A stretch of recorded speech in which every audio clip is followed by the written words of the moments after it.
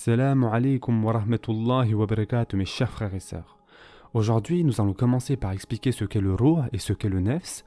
Même si cette série est sur le barzakh, nous devons discuter du ruh et rentrer un tant soit peu dans les détails afin d'avoir une bonne compréhension par la suite. Ainsi, qu'est-ce donc le ruh et qu'est-ce donc le nefs? Et quelle est la différence entre le ruh et le nefs? Avant de rentrer dans les détails, il faut être clair là-dessus. Allahu a'lam. Cependant, il y a plusieurs interprétations concernant la relation entre le ruh et le nefs. Ce que l'on peut faire, afin de comprendre au mieux ce qu'est le ruh et le nefs, c'est de regarder directement dans le Coran. Et nombreux sont les savants à avoir fait ça.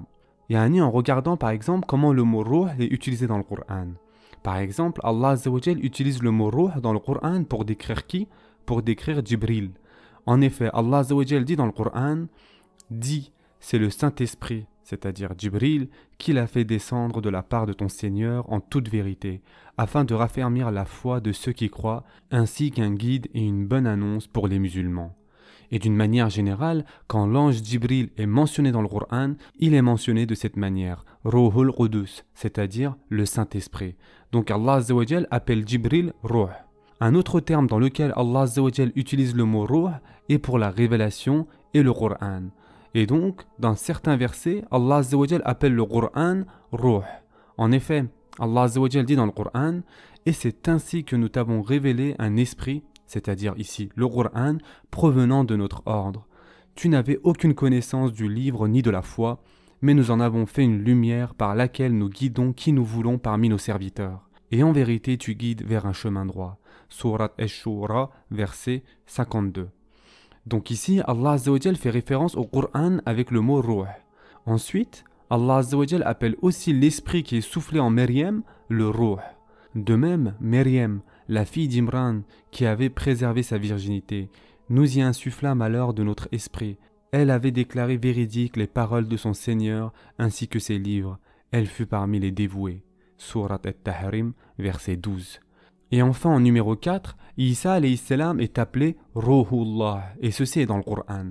Allah dit dans le Coran Ô gens du livre, c'est-à-dire ici les chrétiens, n'exagérez pas dans votre religion et ne dites d'Allah que la vérité. Le Messie Isa, fils de Myriam, n'est qu'un messager d'Allah. Sa parole qu'il envoya à Myriam est un souffle de vie venant de lui. Croyez donc en Allah et en ses messagers, et ne dites pas Trois, cessez, ce sera meilleur pour vous. Allah n'est qu'un Dieu unique. Il est trop glorieux pour avoir un enfant.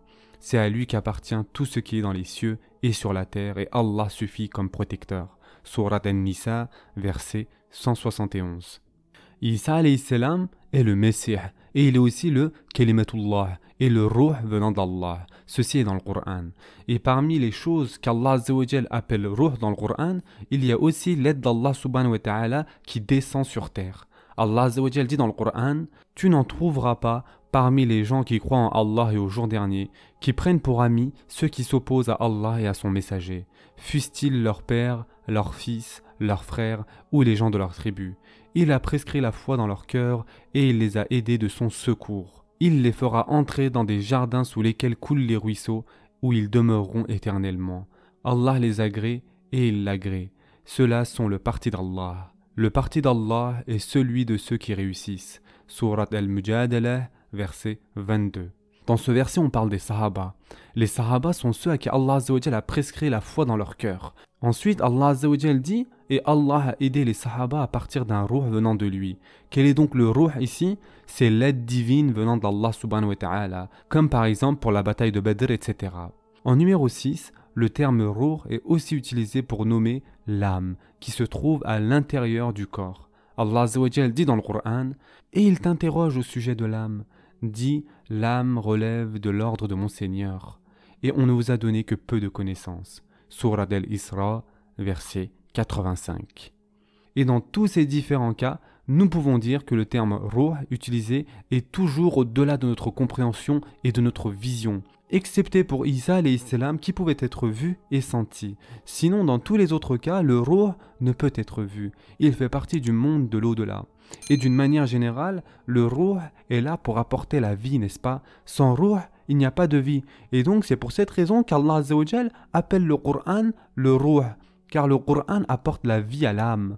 Jibril salam est appelé le Ruh car il apporte cette révélation et donc il apporte ainsi la vie aux âmes. Et Jibril, comme vous le savez, est l'ange qui a apporté toutes les révélations d'Allah subhanahu wa ta'ala. Et donc, le sens commun du Ruh dans tous ces cas est dans le sens qui donne la vie, qui donne de l'énergie, qui fait vivre. Maintenant, concernant le nefs. Le nefs apparaît beaucoup plus dans le Coran que le Ruh. Parfois, et très rarement, le mot nefs est utilisé pour dire ruh et ceci est une exception. Par exemple, Allah dit dans le Coran Allah reçoit les âmes au moment de leur mort, ainsi que celles qui ne meurent pas au cours de leur sommeil. Il retient celles à qui il a décrété la mort, tandis qu'il renvoie les autres jusqu'à un terme fixé. Il y a certainement là des preuves pour des gens qui réfléchissent. Surat Az-Zumar, verset 42. Et ceci est une exception. Le mot nefs ici est utilisé au pluriel pour désigner l'âme, mais c'est une exception. En général, le mot nefs englobe beaucoup plus de choses. Le mot nefs désigne beaucoup plus de choses que le mot ruh dans le Coran. Par exemple, Allah dit dans le Coran Toute âme est l'otage de ce qu'elle a acquis. Surat al-Muddassir, verset 38. Ou encore, Allah dit dans le Coran Allah n'impose à aucune âme une charge supérieure à sa capacité. Surat al-Baqarah, verset 286. Le terme nefs est utilisé d'une façon plus fréquente dans le Coran et d'une manière générale, ce que l'on peut dire, c'est que le terme nefs est utilisé lorsque le ruh, le aql et le corps ne forment qu'un. C'est-à-dire lorsqu'il s'agit d'une entité vivante à part entière, on appelle cela le nefs.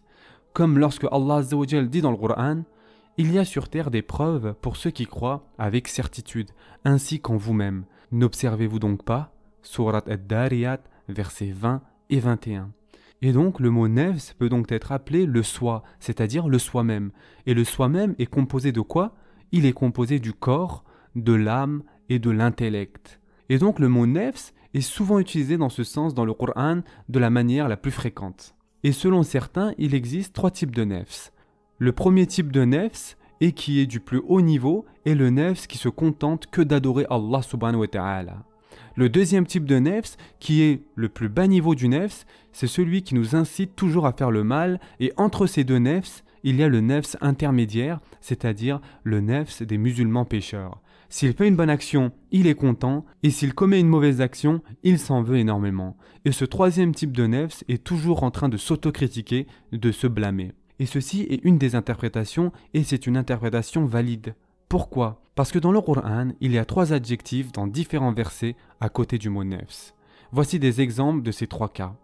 Allah dit dans le Coran Je ne m'innocente cependant pas, car l'âme est très incitatrice au mal, à moins que mon Seigneur, par miséricorde, ne la préserve du péché. Mon Seigneur est certes pardonneur et très miséricordieux. Surat Yusuf, verset 53.